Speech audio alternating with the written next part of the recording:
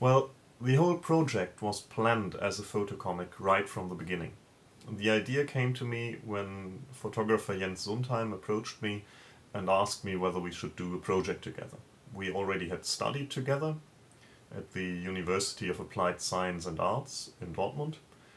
Uh, I have studied graphic design there, he studied photography, so we knew each other from, from our studies.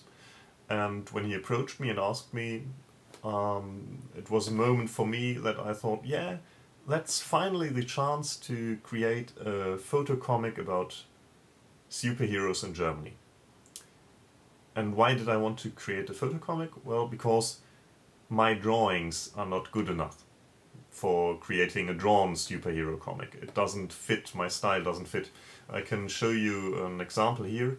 This is my first sketch of the Erzengel.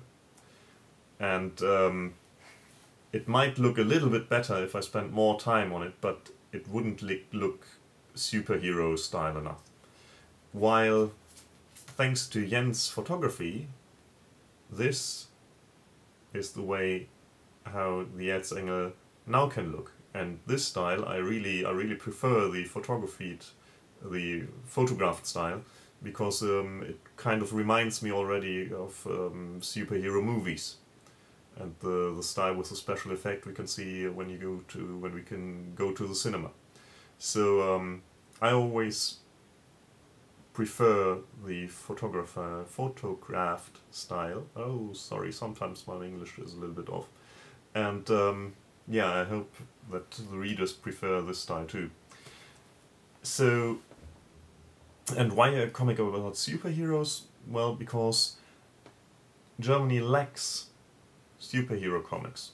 We don't have authors and comic artists creating comics about superheroes. I don't know why, but um, the the main kind of story in Germany is um, autobiography or biography, and uh, there are very many cartoonists and illustrators, but um, they all, in a way, um, don't do superhero comics, or at least there are very, very few well done superhero comics from Germans in Germ playing in Germany.